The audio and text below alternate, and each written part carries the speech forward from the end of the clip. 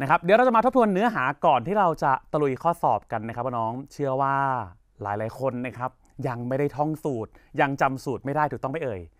อ้าวไปจ้าน้องๆนะครับ ตัวอนุกรมเลขครับผมจะต้องใช้สูตรดังนี้ครับ ได้แก่ s n n ส่วน2นะครับ a 1บวก a n จ้าอ่าลืมจ้า จดความหมายครับน้อง sn คือ ผลรวมนะครับ slash อนุกรมครับ อนุกรมหมายถึงชุดของตัวเลขหลาย ๆ ตัวนะครับ ที่มาบวกกัน ตัว n นะครับ แปลว่าจำนวนพจน์ครับ ตัว a1 ครับ หมายถึงพจน์แรก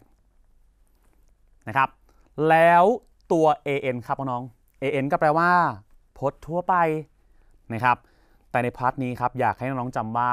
นะครับ พจน์สุดท้ายครับผมนะครับ เขียนสูตร แล้วต้องจำตัวแปรแต่ละตัวให้ได้ด้วยนะครับน้อง สูตรที่ 2 ให้เราจะใช้นะครับไปรุ่นได้แก่นะครับ s n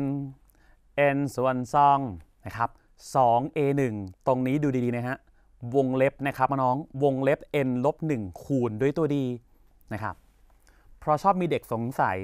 มันตัว c หรือเปล่าครับพี่ ไม่ใช่ครับ วงเล็บนะครับน้อง วงเล็บ n ลบ1คูณด้วยตัวดีความหมายเดิมเลย sn คืออะไรครับ ผลรวมอนุกรมนะครับ ตัว n ครับน้องจำนวนพจน์ a 1แปลว่าอะไรครับพจน์แรกเหมือนเดิมเลยใช่ไหมนะครับ ตัว n ก็คืออะไรครับจำนวนพจน์ แต่มีตัวแปรปรากฏเพิ่มเติมอีกหนึ่งตัวจ้าตัวดีครับเด็ก ๆ d different d different แปลว่า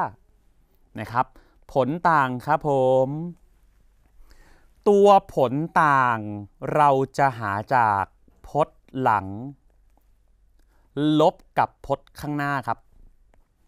พจน์หลัง ลบข้างหน้า